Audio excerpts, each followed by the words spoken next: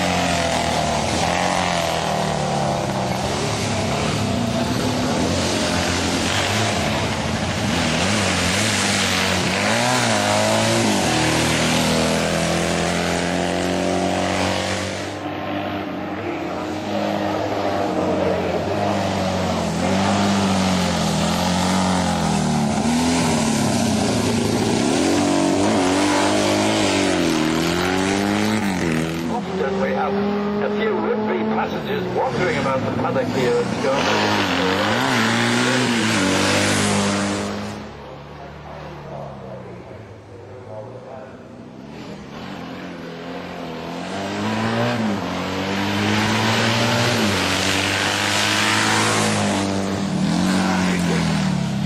That's it, it's gone flat. Now it's all becomes understandable.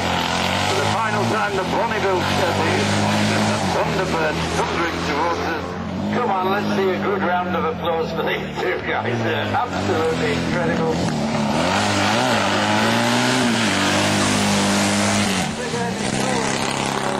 Absolutely brilliant stuff again. And uh, their best of the weekend.